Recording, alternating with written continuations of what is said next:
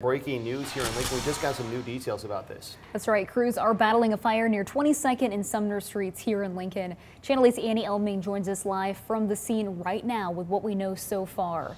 Annie, what can you tell us?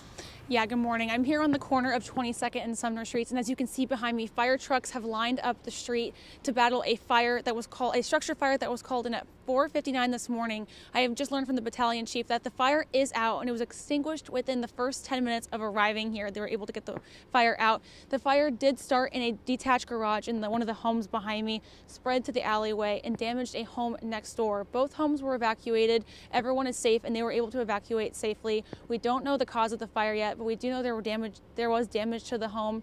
This is a developing story. We'll keep you updated on air and online throughout the morning at klkntv.com. Back to you in the studio.